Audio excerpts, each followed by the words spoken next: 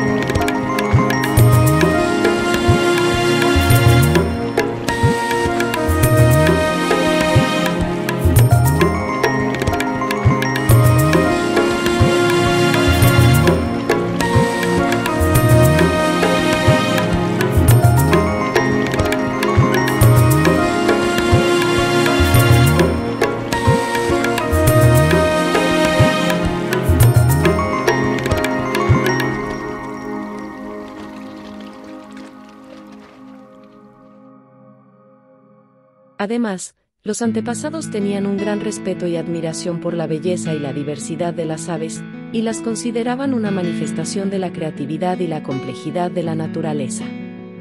Las plumas de las aves eran utilizadas en la creación de artesanías y tocados, lo que refleja su importancia en la cultura y la espiritualidad de estas comunidades.